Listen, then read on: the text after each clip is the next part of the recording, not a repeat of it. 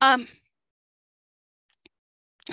so about uh, seven years ago, our house was bought by our landlord, our current landlord named Henry Walser, and he owns a large funeral home just on the block. And he bought the whole house, uh, the whole block, uh, telling us that we he wanted us for for uh, long term rentals. Um, about a year after that, we got a notice of rezone uh, request through the city council. So we found out he's trying to demo evict us for a parking lot. Uh, it's been a long fight for the last six years. It's gone back and forth. We've fought him um, off and on. But this last March, he uh, got approval from the city of Kitchener, who have no idea about uh, tenant tenant rights whatsoever uh, for his rezone. So now he can essentially bulldoze the entire block for a parking lot. Um, so over the years, Walser has manipulated and bullied residents in these three buildings that are on this block.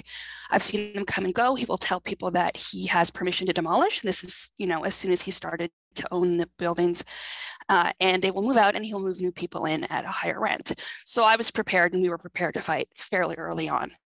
Um, he does not know anything about landlord-tenant law. He will lie to his residents, uh, the residents of his building. Um, we are still only living in our home right now because we saw him coming and because we fought him. We were originally supposed to be out in March. In November, he came to us with an N13 and told us if we signed it, he would give us some money. Um, we went to the city council. Unfortunately, city council voted against us, but we're still fighting him.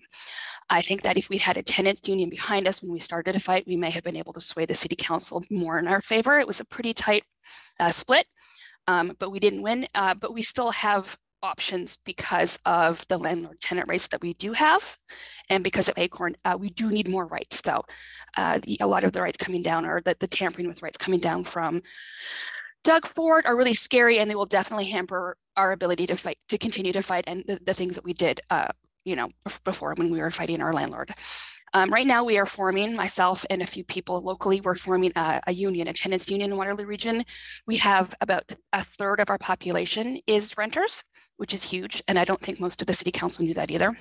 Uh, and we are we are in the top 10 for rent evictions and dem evictions, uh, skyrocketing rents, as, as a lot of the people here will tell you that they're also facing. Um, and it's become clear that even tenants don't know their rights. A lot of people just believe their landlord when they tell them they have to move because there's, an, there's a power imbalance. Uh, we want to empower people with the union here in Waterloo Region to resist housing injustice uh, so they can help themselves and each other because this is not going to go away unless we fight it. I'm also a climate activist and organizer locally in Waterloo Region.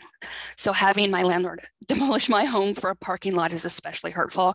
And housing is part of climate justice. We need dense housing in order to reduce emissions. So housing justice is climate justice and it's a part, it's a part of an attack on broader human rights uh, alongside our planetary crisis that includes the climate crisis.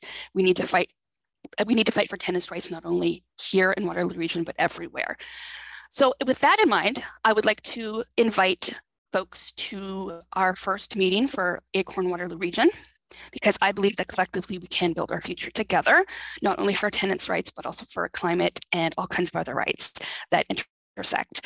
Uh, we have a meeting this May 25th at 6.30 p.m. about how you can join Waterloo Region Acorn. We're also petitioning at the Kitchener Farmers Market this Saturday, May 20th. So if you want to join, come see us there. We're going to be there um, both times. So we're looking forward to having you and fighting for each other. Thank you. And on to Aiden.